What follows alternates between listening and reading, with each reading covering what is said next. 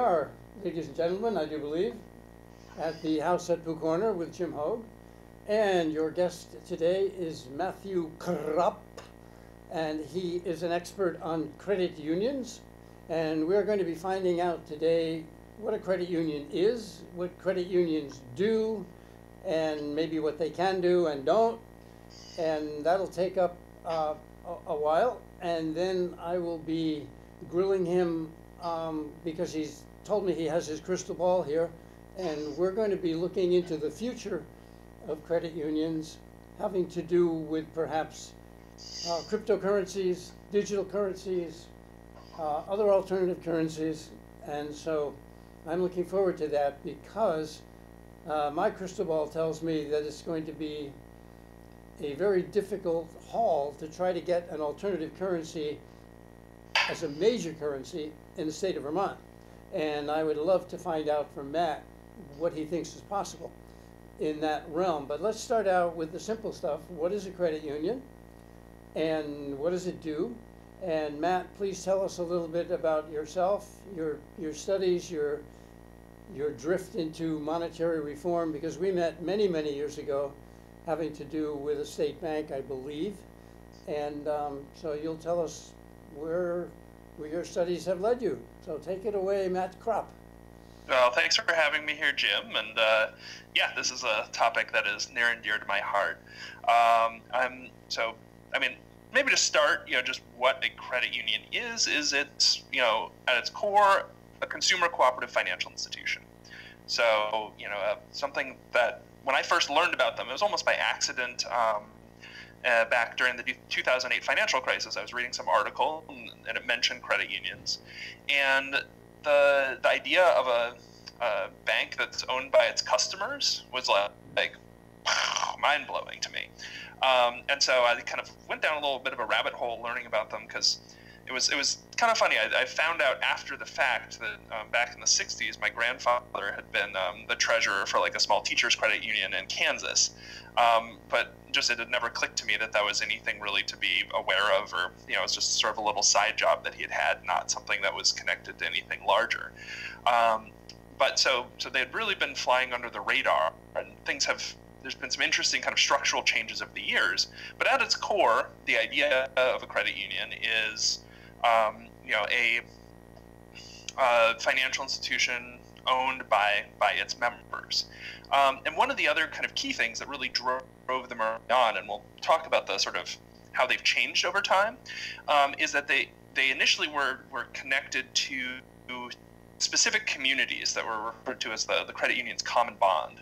And in the, the time before you had things like credit scores or and other kind of kind of quasi-objective tricks for allocating credit and loans. Um, you know, the fact that you were going to the, the credit union for your loan meant that you were your loan was coming from the savings of, say, fellow members of your church or people who worked in the same workplace as you or something like that, um, which created this sort of social capital and, and a level of kind of um, give and take and trust that would be, you know, would not exist in a larger financial institution which on the one hand meant that you know you'd elect a board or a credit committee from among that community um, who would have the sort of social knowledge to be like, okay, yeah, you, you know, if we give you a loan to buy a car, or to you know, you know, buy some Christmas presents as for the holidays or something like that, um, you know, we we believe that you'll pay it back. You know, we know you've got you know you've got a job, we know you've got good character, all of that. And then on the flip side, even if someone was kind of going through rough times, they'd be less likely to simply default because it wasn't just a commodity relationship of, you know, this investor-owned bank which is seeking to make money made me a loan. Now I'm, you know, bankrupt. I'm going to default.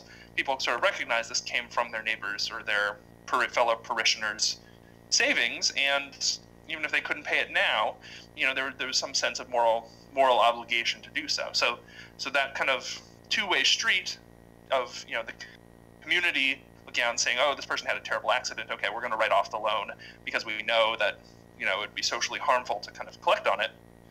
Um, but at the same time, that person maybe five or ten years later, there's plenty of examples of them being like, "Oh, I was writing a check for five dollars every month, even when they didn't have to because they they felt that that sense of it as a community institution." So early credit unions really grew up around these sorts of small common bonds. They were little organizations, a few hundred people maybe. Um, you know, there were some that were bigger. You know, certainly kind of the municipal credit union in New York City had early on tens of thousands of members, but the average credit union was small, and credit unions kind of grew. Um, you know, extensively, right? So, so through the creation of more credit unions rather than consolidation or making credit unions bigger.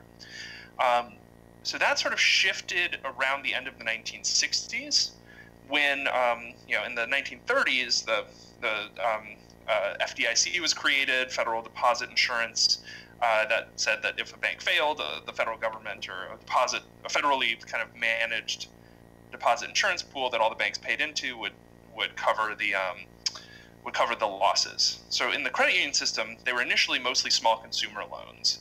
Um, they um, and so and there's a lot of regulatory stuff that kind of compartmentalized up until the late 70s what sorts of lending different kinds of financial institutions could do. It was around 1980 that, that a lot of those were lifted as part of the kind of the sort of banking reforms and general sort of shift to the neoliberal era that happened around kind of Carter Reagan. Um, but so it was really the compartmentalization was banks were the ones that did, you know, commercial lending, you know, might do some mortgages, things like that. Um, you know, savings and loans were a whole separate category that was really about sort of home lending, mortgages, that sort of thing. And then credit unions were the sort of smaller institutions that were, you know, providing the sort of credit that folks now might kind of have a credit card for. You know, the smaller consumer credit, maybe buying a car, or that sort of thing. Um, but so around in the 1960s, there was a big debate in the credit union world around um, whether credit unions should also have federal deposit insurance. And the sort of two sides of the argument were, on the one hand, you know, banks had it, they were consolidating. It was really, if people were thinking, where do I keep my savings? Do I keep it in the place that if the institution fails, the federal government guarantees that I get my money back, or do I keep it in a small, you know, semi-professional or even non-professional community institution that doesn't have that guarantee? You know, there's definitely kind of like a shift of capital towards those insured institutions. But on the other hand, there is kind of the the argument that, that you know, with that insurance comes a lot of regulatory burden, and it would sort of shift the character of credit unions away from kind of community control and being accountable to, you know, the, those founding common bond communities to the regulatory structure. Um, and so it kind of went back and forth. Around 1970, the um, the national uh, was it the the regulator for credit unions had moved through between a few different federal agencies, um, uh, but the NCUA um, uh, the National Credit Union Administration was created as the sort of permanent home for the regulatory body, and the, the National Credit Union Share Insurance Fund, which is parallel to the FDIC and has many similar characteristics, but it's you know its own separate pool of money from the bank's insurance fund was created, and that's the time you see the inflection point where you know the number of credit union members continue to grow, the amount of assets continue to grow, but that peak of number of credit unions, and from then there's been this kind of this uh, consolidation trend that's happened. Um, and so, you know, really from 1970 to the present, you see sort of mergers, you know, the professionalization, um, and really, and you know, having again that, those regulators who demand a certain level of professionalization. Um, and from a regulatory perspective, it's easier to regulate a few large institutions that are highly professionalized than many small institutions that are you know being run by people like my grandfather who have another full-time job and they're kind of doing this as almost community service um, where they might get a small token paycheck but it's definitely a side side job not a main career focus. Um, and so that's really kind of driven you know the that has along with some of the larger financial sector dynamics is what's kind of driven the development of what the current credit union system looks like now which is you know you have a few credit unions that are quite large, you know, 10 billion plus in assets, um, and then you have this kind of a lot of still more local ones, but um, oftentimes credit unions that are made up of you know 5, 10, 15, um, 15 organizations, you know, common bond unions that have just merged in the past 40 years, um, which has definitely sort of meant that there's, you know, there's been more um, you know the the the kind of center of gravity and identity um, and that sense of kind of social accountability that defined early credit unions much more rare now because again they're using credit scores. They're using very similar sort of approaches to banks. They still have the cooperative structure so so there aren't profits going to shareholders. The profits are being returned to members through better better rates on savings and on you know and on loans. Um, but the the kind of cultural um, and process aspect has kind of you know converged as you know especially post 1980 all of the different types of financial institutions were allowed to kind of encroach on each other's turf.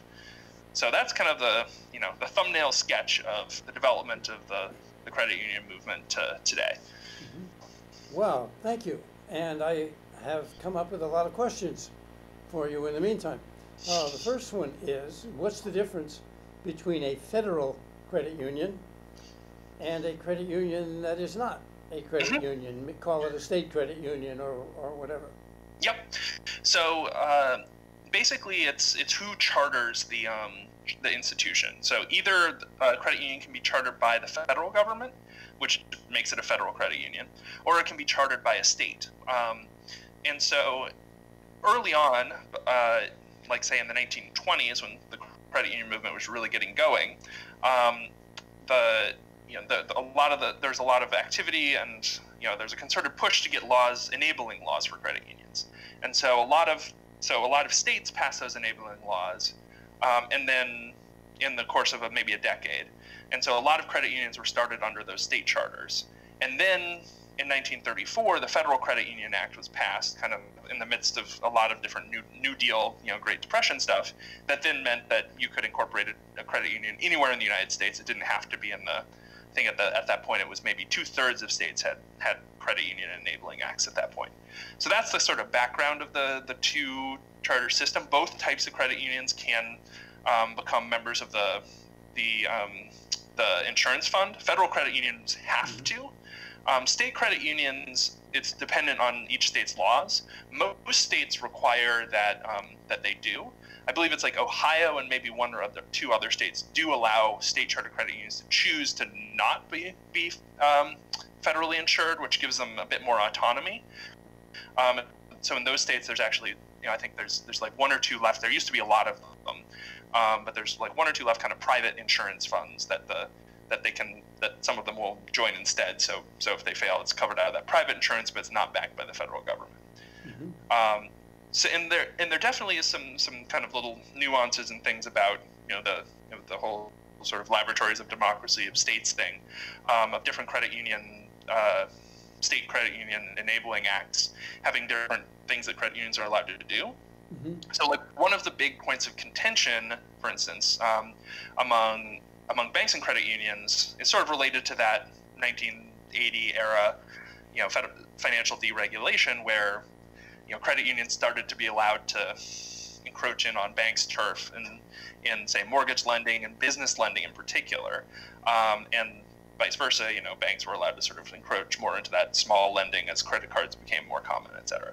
Um, but so so one of the things that there's often a sort of struggle over is on the one hand because they're they're you know cooperatives that operate on a not-for-profit basis.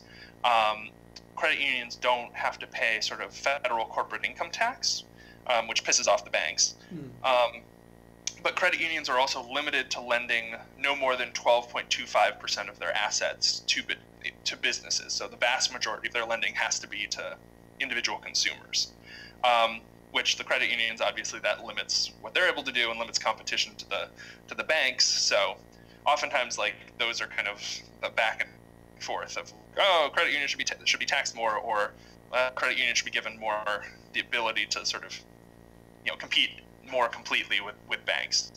Um, but so one example, one interesting little example, and in Vermont is one of a handful of states that has a um, has a sort of line in their credit union, state credit union and acts that allows for state charter credit unions equity investments in other cooperatives. So, so that doesn't count towards business lending. That counts towards, you know, if it's a consumer co-op like a food co-op or a worker cooperative that's being converted from a conventional bid business or you know any other forms of cooperatives, they're allowed to sort of u- deploy some of their capital as kind of equity investments um, in a way that doesn't count towards their business lending cap. And so that's one of those things where there's you know other little little things like that that that mean there's some some diversity in what state chartered credit unions are allowed are sort of allowed to do beyond the sort of the, the vanilla federal credit union charter model that's fairly standardized, no matter where you are. Okay. Well, that opens up uh, more questions. Now, when you use the word equity investment, Mhm. is that's not a straight substitute for the word loan, does it? Does it? Nope. does the- so, what is it? If if a if the Vermont Credit Union, the one I'm in, uh, which is a state credit union, right, but also federal or Which uh, which credit union are you in? VC the uh, Employees State Credit Union. Yep, VSECU. That's the state credit union. Yep, that's a state ch- credit union Okay. whose, So whose if common they- bond is currently the, the whole state of Vermont. Yeah. So if they make an equity investment in a food co-op, what does that mean? So, um, so they're actually the one of the few few credit unions in the country that has a co-op equity investment program. It's called Co-op Capital. Um, there's a page on their website if anyone out there is interested in checking checking out the details. Um, but basically, uh, if you're to an, you know a cooperative generally to, to back up a moment is you know as a an organization that exists to operate on a not-for-profit basis towards its members, right? So it's not a nonprofit in the way that something like you know the public access station that you're broadcasting from is is a nonprofit or you know a public you know so it's operates in business it generates revenue and it aims to generate a surplus um, but the, the goal is that it then returns the surplus to its members prorated by their use of the co-op so in a consumer co-op right if i buy $1000 of groceries and you buy $2000 worth of groceries you know and at the end of the year there's a profit the, the patronage refund, the return of that profit, you would get twice as much as I would get. Um, and so, because of that, right, you're you're getting a return on use, not a return on capital. Um, sort of what, what when you think of traditional equity investment, it's I buy 10% of a company and I get 10% of the profit. That doesn't work for co-ops. So the two ways that investment in co-ops can happen is one is debt. You know, I make, for instance, my food co-ops in Burlington City Market recently expanded, and they they wanted to fund part of it through kind of member direct member investment. So they said we're going to issue bonds essentially, and co-op members can buy the bonds. They'll pay a little bit of interest, and after seven years or ten years, the principal will be paid back, um, and you know you go on. So that's that's one way. The other way um, is through what's called non-voting preferred shares, and you know, so one of the core co-op principles is one member, one vote, um, and so, so can't have something where someone comes in and invests additional capital, has additional governance power. Uh, it's a democracy. Democracy is at the core of the co-op model, and so these non-voting preferred shares behave in some ways like debt, but are more patient. So essentially, you you know say buy a share for hundred dollars. Um, the first slice of profits before you return profits to the members, kind of as patronage, maybe with a target return of call it five or six percent, um, goes to those preferred shareholders, and then the rest of the profit goes to the goes to the members. Um, and so, so that sort of so it could be something where you know the credit union could be joining as a as a you know co- as a just a member of the co-op, and that would be equity. But it could also be buying those non-voting preferred shares as kind of a patient social investment in cooperatives. Okay, well, thank you. I, um, I tried to follow that, and I think I did. Um, just to double, to be a little bit redundant here, when I walk into the, the credit union, posted on the wall are their assets and liabilities, assets Mhm. being loans, liabilities being deposits. If the credit union, if your credit union, for example, makes an equity investment in a local co-op, where Mhm. does that go on the balance sheet? How does that work, and where, does it come from reserves? Mhm. Or Yeah, just, yeah. well, of course, ban- I'm sorry to interrupt, but banking and, and credit co- co-op, credit union lending um, doesn't come from deposits. It, it, it comes from, if you will, thin air. It's based on deposits and reserves, but it's created money. Um, with a savings and loan, that's not the case. The savings and loan lends out the actual money. And Mhm. maybe that's one reason why savings and loans don't work anymore. Uh, also, there was, you know, the, the scam. There's a lot of fraud in the Yeah. 80s. Um, so anyway, where, if you're looking at a bank balance sheet, this is getting really wonky, people, so I'm sorry about that. Um, if you look at a bank balance sheet, the, um, equity position that the credit union takes in the co-op would be Mm-hmm. That would be an asset. their asset side. Yep. Okay. I got And the other thing to think about, because again, so when you think about what is the, the equity of the of the credit union, um, you know, unlike a bank which can sell those kind of common, you know, those common investor shares on the stock market or what have you to sort of build the, the equity that sort of allows them to, you know, with the way bank regulation works, you need a certain amount of equity in order to, you know, a ratio between the, your amount of equity and the, the sort of amount of deposits you have, because the equity is what you know is, is what would be lost if the was failed um, and then first and then Mhm. you know the insurance fund would bail out the rest right Mhm. um, with a credit union right the equity is the member share which is often a token amount so you know five or twenty five dollars generally very minimal um, and then the other thing is retained earnings so for because they're they're co-ops it's a little bit harder for them to access equity capital versus you know a for-profit a traditional for-profit firm so for many for many credit unions the sort of building of that um, that that sort of equity or capital base is is something that happens over time through through retained earnings Okay. Um, but yeah but for for those sorts of investments yes it would sit Okay. as as an asset on the balance sheet Yeah, so it's defined, the, the, there's no difference between a credit union and say your local bank in terms of the balance sheet because their, um, their reserves and their, their, their assets are loans plus the lawnmowers and the, the, the building and other stuff Mhm. that is, and, and, and actual money that's, that is theirs. right Okay, got it. Yep, Um, yep. now, um, where are we? I wrote some questions down. And I think I just covered them. Okay, oh yeah, just to make another redundant question. A credit union works in the fractional reserve system like your local bank. hmm Okay, Right. Yeah. So it's the sort of thing where you know, when when you it doesn't need to have one to, one to one cash on hand for deposits, right? You can, uh, yeah, you you you take in deposits. You need to, the the regulatory system basically sets a certain level of the you know how much capital you need to have versus how much Mhm. you can lend out, right? So so the Mhm. more the more capital you have, you can bring in more deposits. You can you can lend out more money. Yes, and I think one of the big problems they had in Cyprus was that they offered too high a return on the savings, and they didn't have any loans. hmm So they, they Yeah. couldn't possibly pay the, the dividends on the savings, and so that they, they went belly up, and, and then in, now in Europe, they, they know they can't do that in advance, so they're actually charging people a demurrage, they're charging people a fee to take their money. hmm So we're wondering about, you know, how that might play out in the United States, but we don't have to go into that unless you want to.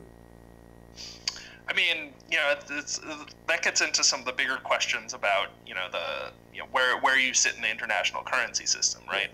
Because I think I think this is this is one of those things where you know, as long as dollar hegemony is maintained, right? Mhm. You know, where there and there's kind of extra resources flowing flowing into the American economy and the American sort of economic system because you know we're we're sort of at the center of it. And We're able to collect rents off of that Mhm. um, you know things are things are you know relatively stable compared to if you're in a, in a peripheral country in the Mhm. economic system where you're being extracted from and the sort of sent the, the amount of give there is before before you get you, you find yourself in crisis is much much lower than it is here Okay. so there's Yeah. definitely different dynamics there And depending on where you go online, it either looks like the sky is falling because of the derivative um, situation, or it looks like no problem because QE, you know, one, two, three, four, five, et cetera, can always add to the money supply as we need it. hmm And I gave a talk many years ago about why the US gets to do that. And the main thing that I said that I very, very rarely hear anybody talk about, and that I think they should, is gunboat diplomacy. hmm You either re- maintain, we, we either get to maintain dollar hegemony, or we'll kill you. We'll, we'll destroy your country. hmm If, if you don't keep the oil, you know, the oil for dollar system going, we will destroy your country, which has been done, of course, several times Right. already over the It's- last several years. It's it's a more it's a generally more subtle form of empire, but it's still a form of empire, right? Where you have a periphery that's being extracted from, Mhm. and a sort of center where sort of resources that's being overdeveloped by the sort of amount of resources, or I mean, ethically you could even consider it plunder that's being sort of accumulated in that center, Mhm. you know. And so you know, if you look at past empires, whether that's you know Rome or whether that's you know Britain or other places, and I think Britain's an interesting one to sort of look at as kind of a slow you know re- receding back from sort of being an imperial center Mhm. where there's still a fair amount of kind of you know the the capital that was accumulated in the city of London and ever and uh, and in the the society generally, you know, is something that once it's there, you know, there are certain ways of kind of locking it in. Mhm. Um, but at the same time, sort of over over time, if if the sort of central flows are going elsewhere, you know, the its general influence has been in decline. And even without the sort of self-inflicted wound of Brexit, like you know, that's you know, it's this, you know, it's it, they- they've as a society, kind of how do you come to terms with the fact that, that you're no longer sort of the central repository of, of plunder for a, for a large portion of the world? Mhm. Well, that's, if you're interested in that topic, we can do another program at, at another time um, on it because it's worth several hours of discussion on, Oh, on its own. Uh, I'm, I'm writing a paper now called All Wars Are Bankers' Wars.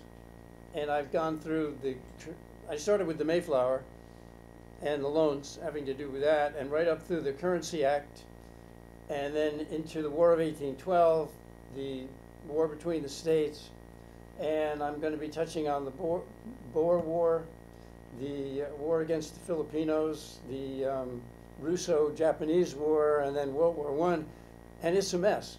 But if you follow the thread, which is very difficult, I'm not, I'm not saying that, you know, it's, it's, it's easy for me to just open up a book and follow the thread. I'm, I'm using several different sources, and that thread always goes back to the banks.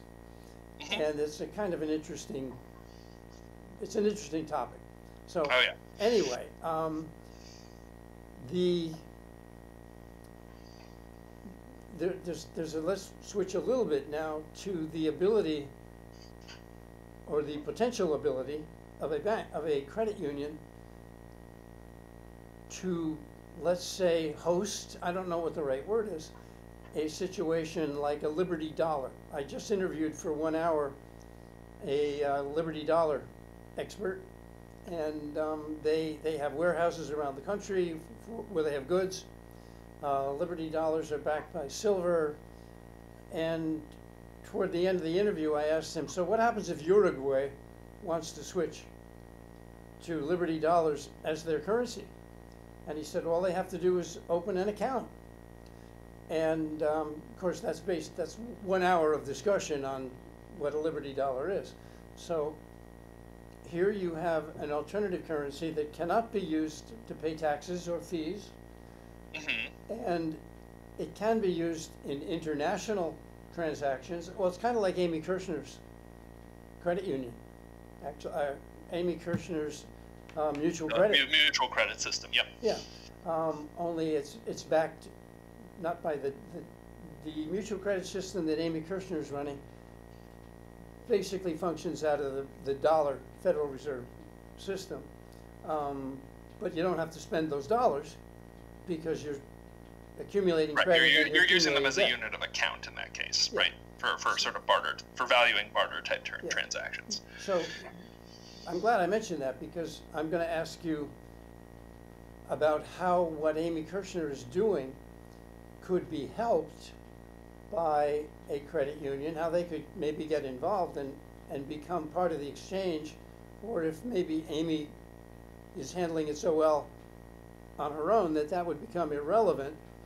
Um, and then how the Liberty Dollar people might become, there are Liberty, Dol- it's an anti-bank, they call themselves the anti-bank. There's, Mhm. there's no fractional reserve, there's no lending per se, there's mutual credit, but they don't lend in the same way a bank lends or the same way that a credit union lends. So anyway, I'll throw that out there, that mess that I just said, and you can um, sort of sort it out.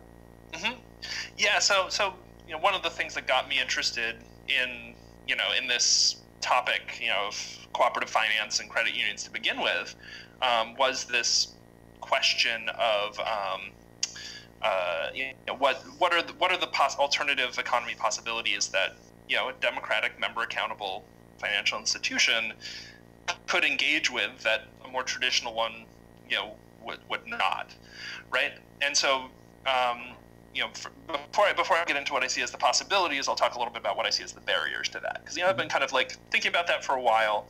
Um, you know, the first one obviously is um, is the question of you know just you know being being regulated. You know, what's going to sort of set off regulatory alarm bells, which you know, which force them to back down. So an example of that was. Um, I think it was the founders of Wikipedia um, years ago created like kind of early in the in the Bitcoin era, um, uh, created a um, uh, was or basically said that they were going to sort of have the they created a virtual credit union, uh, um, and then would, were going to have the credit union be sort of a allow for kind of custodial accounts of cryptocurrency.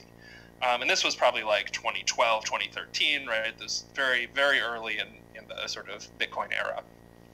Um, and so they ultimately kind of ran afoul of kind of the regulators being like, "What is this? We're not sure how to treat this. This is this is high risk and could create liability. And if it is high risk and could create liability, that puts the the sort of insurance fund at risk. And that's really like their primary, the prime directive, so to speak, of the regulatory apparatus is, you know, make sure that the that the behavior of the members of the, the insurance fund aren't taking on you know aren't doing things that are so risky that it, it puts the share insurance fund at risk. Like derivatives. Right.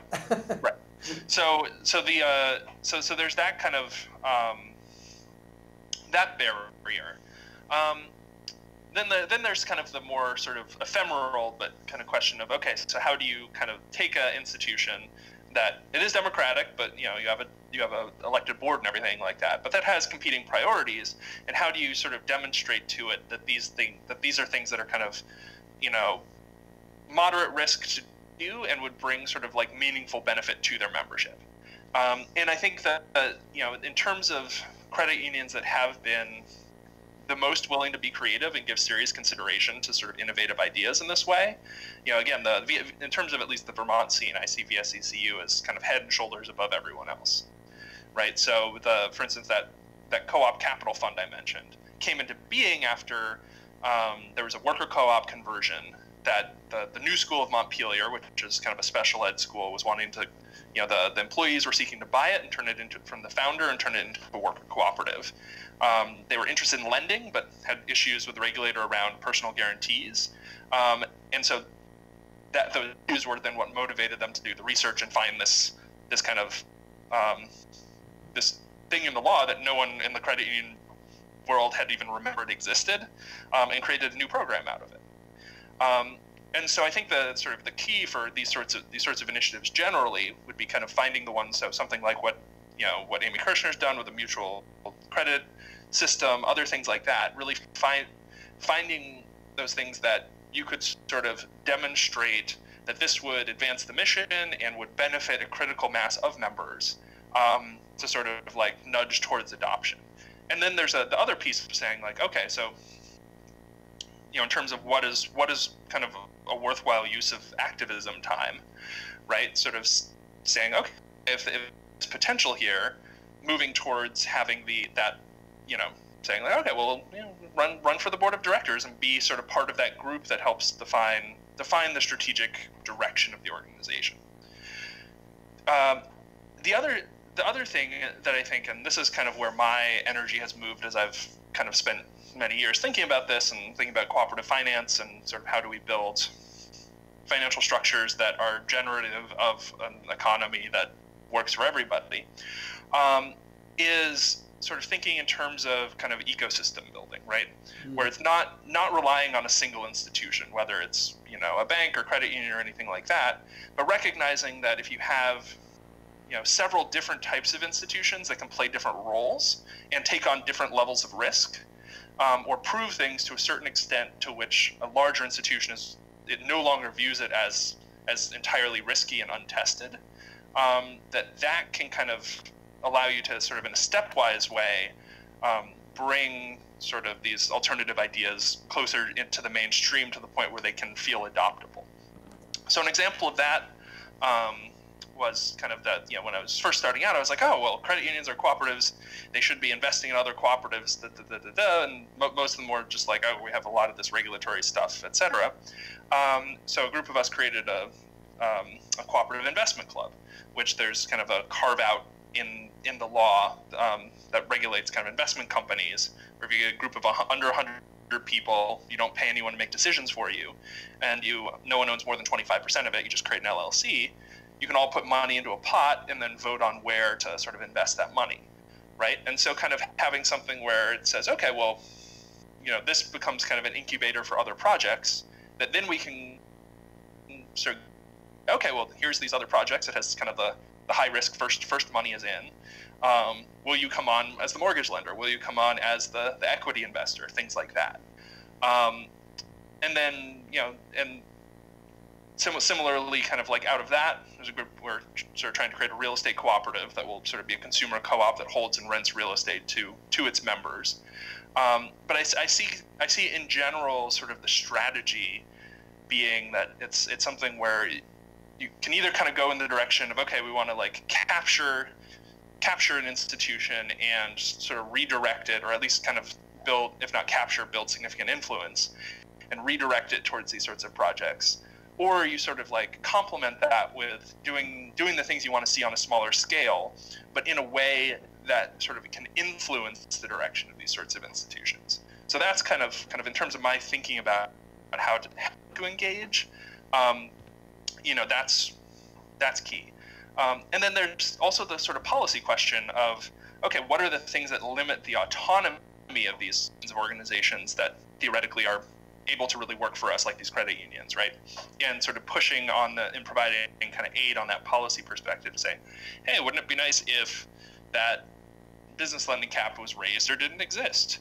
Um, you know, wouldn't it be would it wouldn't it be interesting from that ecosystem building perspective if you were allowed to create an un, unfederally insured state chartered credit union that would have to be able to be a lot more flexible in mm-hmm. terms of what it could do. So, so you know, nudging, nudging the laws in that direction. And then, like even on the state bank front, right now, the the the, the state treasurer is not allowed to use credit unions as a depository for state funds, despite the fact that, you know, you know they mm-hmm. can deposit money in TD Bank, yep. they can't deposit money in the in VSECU, which is owned exclusively by Vermonters on a cooperative basis. Yeah. So I see that as actually one fairly low hanging fruit thing that, you know, on the sort of kind of from the impetus of the state bank style thing of just being like, look, there's a huge, huge amount of depository dollars.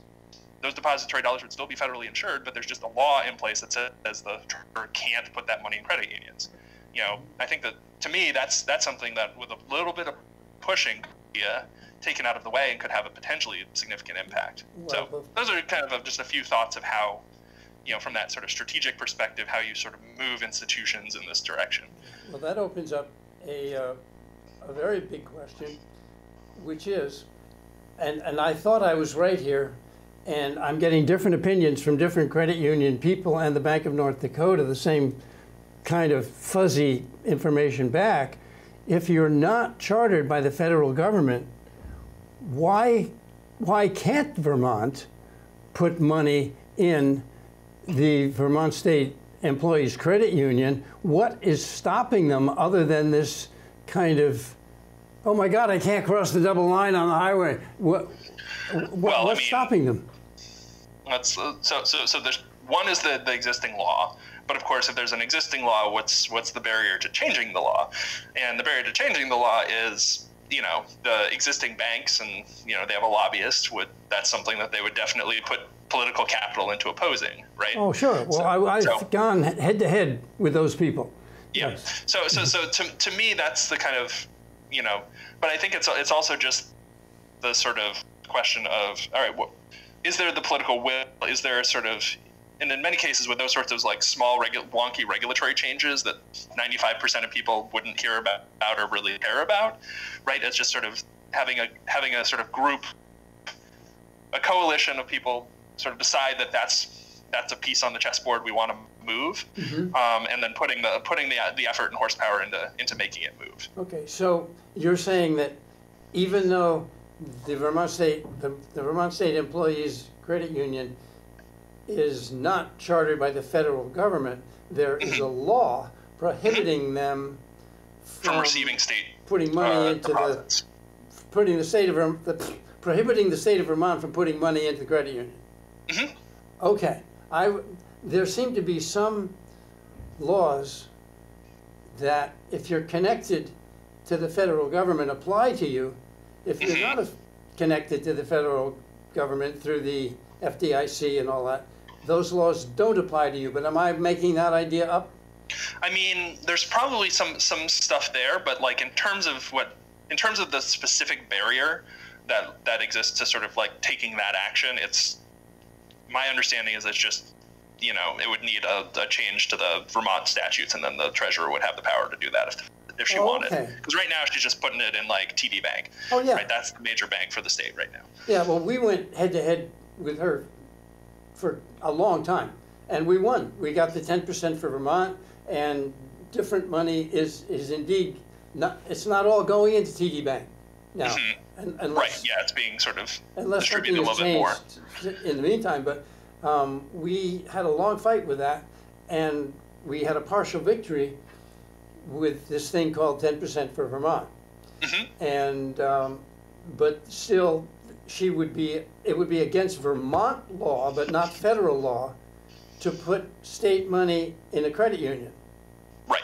Okay, so the next activist movement that you and I and, you know, Gwen Hallsmith and John Ford and that crowd could get involved in would be changing the Vermont law to allow the state to deposit money in a credit union. Hmm Yeah, I think uh, to me, and, and that's something that even in the broader co-op movement, in terms of okay, if there's if there's a general sort of legislative push to be like, hey, let's update the consumer co-op statute and the worker co-op statute and other things like that. You know, if, if there's a coalition that could come together saying like, this is the you know the five bullet points of the, the, the Vermont co-op movement would like as our legislative wish list. You know, that could be you know that that could bring a lot of folks to the table who might not who might not even be sort sort of this would be outside of their general sort of purview of what they're thinking about, Sure. um, but would would be a way to kind of combine the political capital of a bunch of different different groups to sort of accomplish this. And then Chris D'Elia would have an earthquake in his head.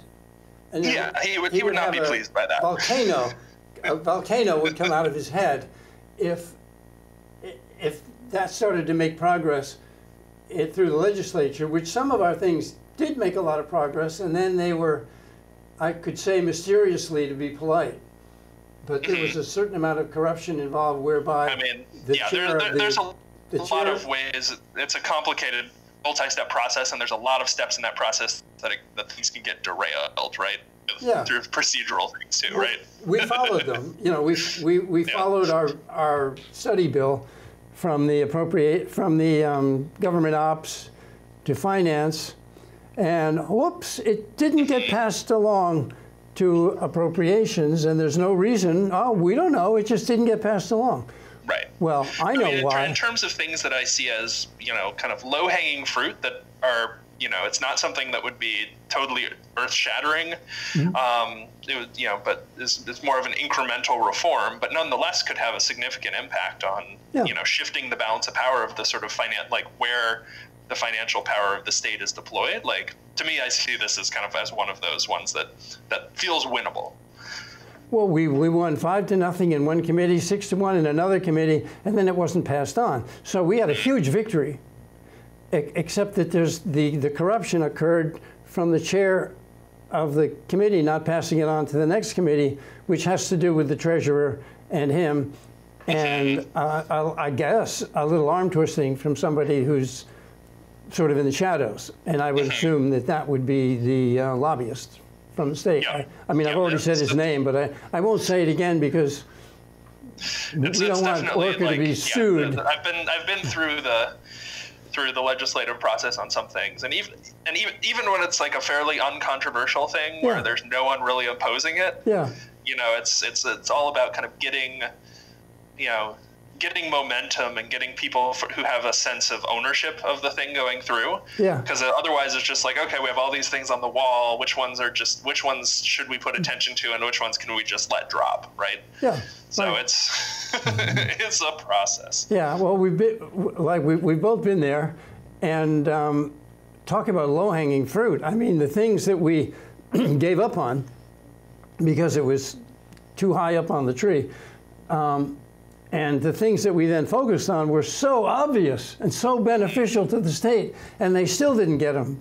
They were still ordered to lie, or they were somehow not passed on. But the actual people in the legislature were very helpful, and we, you know, we got pretty far. But somehow there's a, a little corruption here and there, and mysteriously these things don't go forward. and you've just explained why. A little bit of momentum in in the direction that would benefit the public Right. is very upsetting to the bank lobby. So that's that seems to be what has happened. And by the way, I love your word there. You you either capture the institution or you complement the institution. And um, I've been often thinking of running for the board of the Vermont Employees Credit Union, um, but my Yeah, I don't have the time. That's one where you know, with the um, a lot of credit unions as they merged, sort of the board elections became a formality. But you know, VSECU for complicated reasons Mm-hmm. um, has actually been able to maintain a pretty sort of open system where they you know actively encourage folks to run, and there's usually more candidates than seats, which is like for you know a democratic organization is definitely a sign of health. Yeah.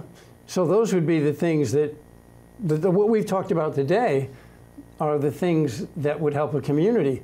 Now, here's a political hot potato for you. Let me see what kind of time we have here. Whoops. Oh. Well, Yeah, we're, uh, I we're just- at 11:07, so I'll need to no, it's, it's not 9-11 today. uh, I'll, I'll need to jump off fairly soon. Okay. Um, but yeah, Um, yeah, if you want to throw me throw me Oh, one that's more right. question. It's, uh, yeah, 1108.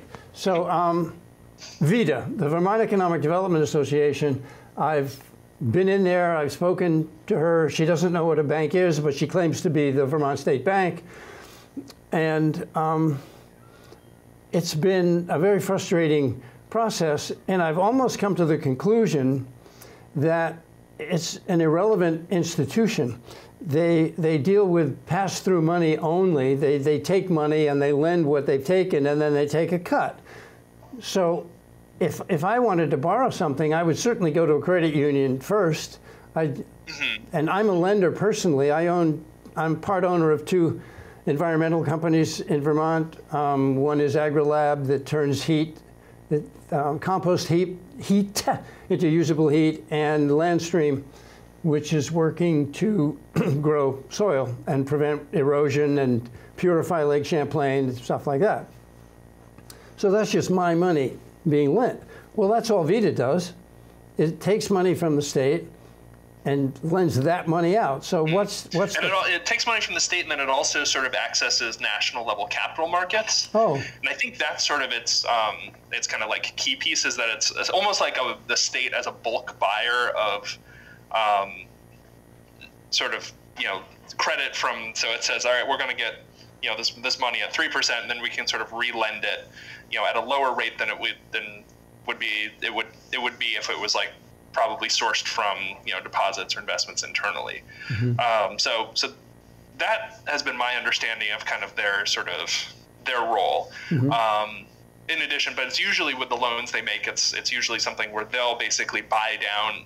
You know, so maybe a conventional lender will lend 50%, VEDA will lend 40%, and then, you know the, the entrepreneur or something it's like 10% down. So it kind of like you know is a is a play at reducing the cost of capital for people kind of starting businesses and that sort of thing. Mm-hmm. you know we've definitely been um, you know with the the work i do around the conversion of businesses to employee owners um, they're being passed by the legislature in, yeah, 2006 2007 kind of you know instructing them to give priority to to lending to those sorts of um, kind of deals um, you know, and it's been, you know, we've, we've had a few examples where they've kind of come in and bought a little sort of piece of a loan. The, the New School of Montpelier example I brought up earlier was one where they put in a little a little loan as kind of a piece of the financing puzzle. Um, but you know, certainly that's something where I think there's there's plenty of room to sort of con- continue to kind of have pressure on them to to you know to sort of have more more programs and more focus kind of stuff on really sorts of things that are building a sustainable and kind of just economy here. Okay.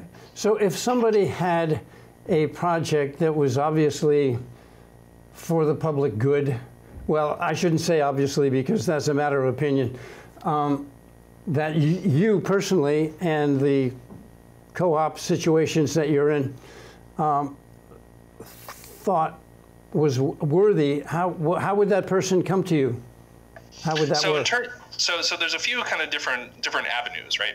So if it's something where someone's starting a general, you know, a co-op generally, um, probably the you know, or a consumer co-op or something like that. The um, uh, the Vermont Solidarity Investment Club or Investing Club is sort of the group that we've got together. That's everyone puts in between twenty or two hundred dollars a month, and then the aggregated money you know, we, we vote on to invest in cooperative projects specifically.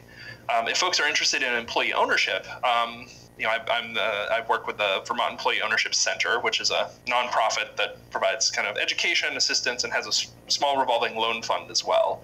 Um, so, a worker cooperative or an employee stock ownership plan for, for a company. Um, so, veoc.org is how to kind of find out more about that. V, Um, say that again? veoc.org, the Vermont Employee Ownership Center. Okay.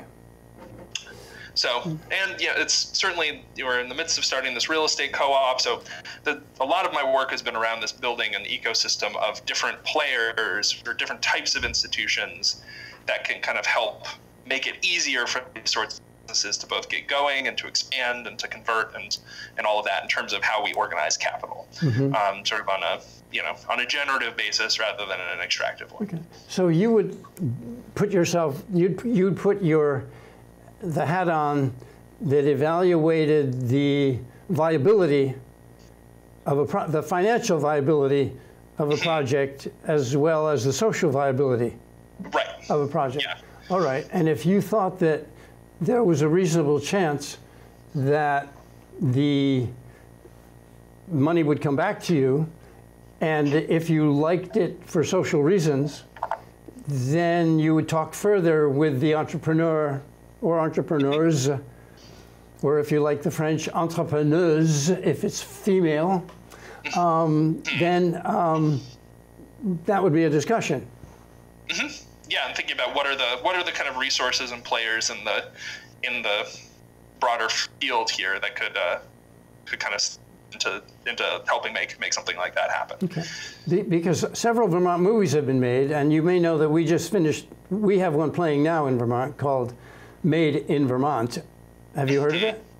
I've not, but I should look it up. Okay. Yeah, the trailer is available. I, I'll, I can send you the trailer, but it's played in Burlington and Montpelier and St. Johnsbury and Middlebury, and I think it's coming to Waterbury. I'm not sure about that. Uh, that's an LLC paid for by those of us who made the movie. And it was very low cost because everybody volunteered time, and there's actually um, some reason to believe that we might almost break even, even if we stopped soon with that. Um, anyway, but, but that's the kind of thing somebody could come with his hat in his hand and say, um, Matthew, here's another movie that we're going to make.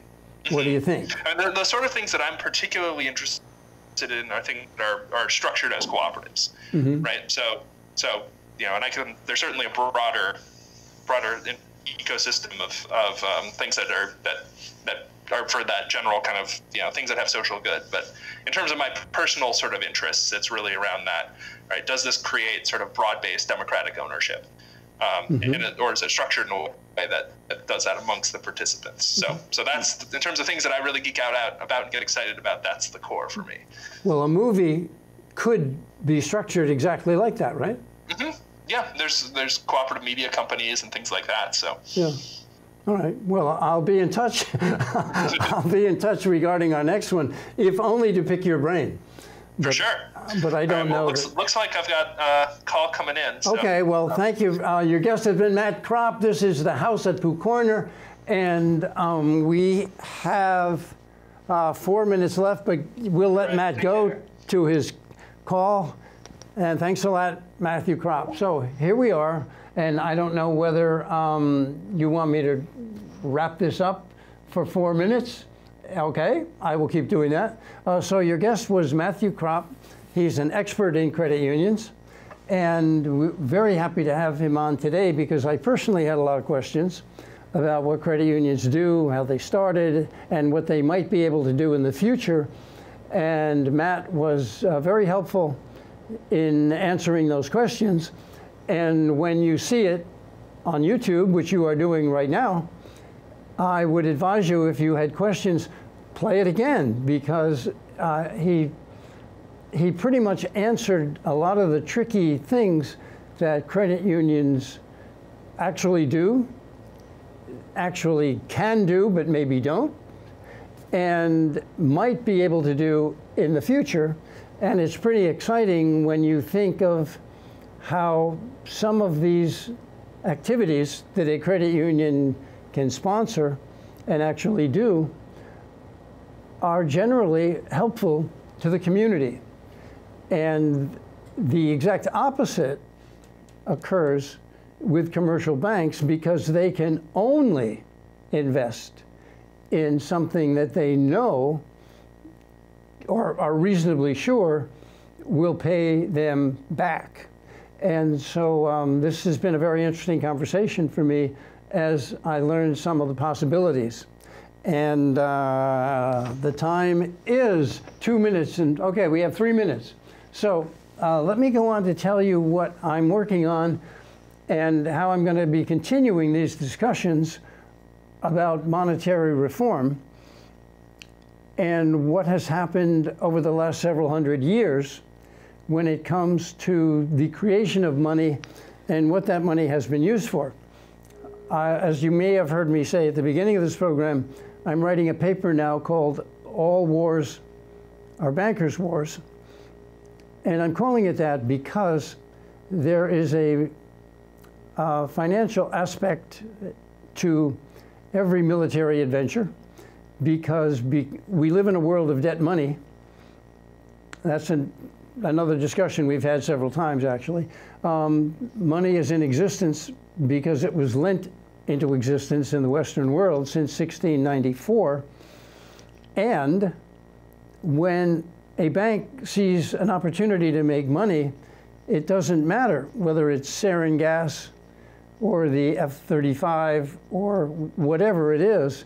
If a bank can lend money and be certain reasonably certain that that money is coming back, then that's what the bank will do. And in the case of wars, banks lend on both sides frequently.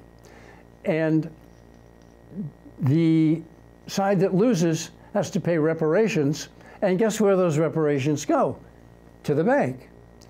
And maybe something else as well. But reparations to, uh, from the loser go to the bank, and from the winner well, guess what they do after they get paid back? Then they send their constabulary. Their constabulary has already destroyed a country. Now they send their constabulary and their businesses in to rebuild the country. So that's a very simple and accurate way of describing how banks make trillions of dollars by creating the war fighting the war and rebuilding the country.